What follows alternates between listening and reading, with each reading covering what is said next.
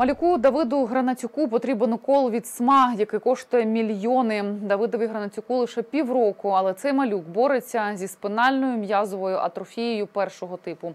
Для того, щоб його врятувати, потрібен укол, який коштує понад 2 мільйони доларів.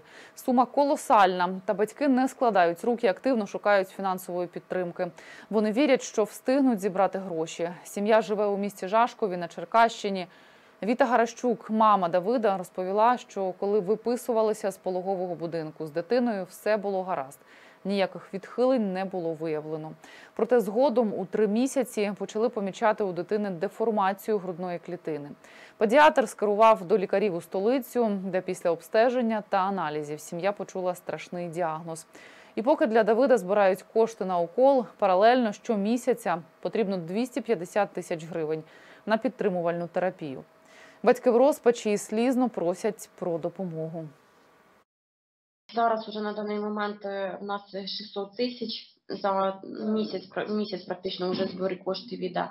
Але ви ж самі розумієте, що це дуже маленька сума, щоб рятувати Давідикові життя. Е, Так як е, коштує укол е, дуже дорого. Для нас це непідйомна сума.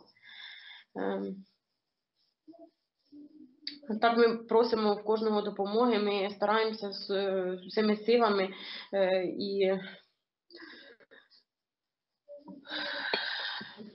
просимо в кожного допомоги, хто нам може допомогти. Потрібно дати укол Золгенсма до двох років.